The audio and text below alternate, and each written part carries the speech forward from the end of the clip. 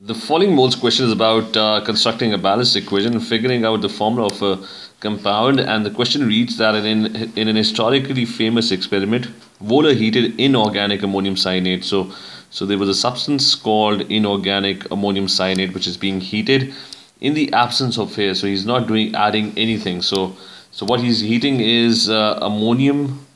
Let's write that down. It's ammonium cyanate and uh, the only product of the reaction was organic urea. So there's only one product that's being formed which is organic which is organic urea which has a formula. It has carbon one oxygen and there are there's nh2 bracket 2 twice. So uh, this is the only product of the reaction. No other products were formed in the reaction this is happening. He's heating ammonium cyanate in the absence of air nothing is being added.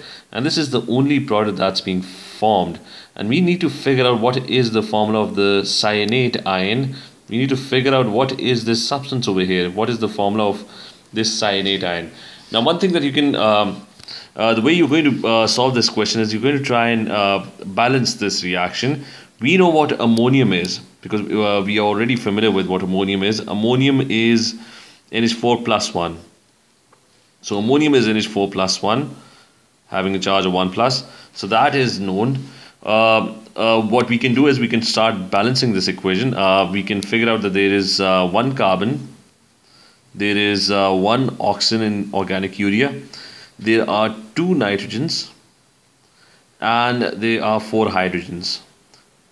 Now, the same amount of atoms would be on the left hand side as well. But right now we don't know what this thing over here is. We don't know what cyanate is, but we do know what ammonium is, and there is ammonium present in the on the left hand side in your reactant. So, uh, based on the number of atoms we have, as you can see, we can we can only uh, construct. There's only there are only four hydrogens present in the products. So, how many ammonium ions can you construct? How many ammonium ions must be present over here? So, since there are only four hydrogens, the only possibility is that you can only come up with one ammonium ion uh, using four hydrogens, which basically means uh, if four hydrogens are, are getting used up, they are present in this ammonium, that's balanced. Four hydrogens are balanced. One nitrogen goes into this ammonium, so that's uh, one nitrogen is gone. So you're left with you're left with three substances. One is carbon, the other one is oxygen, and the third one is nitrogen.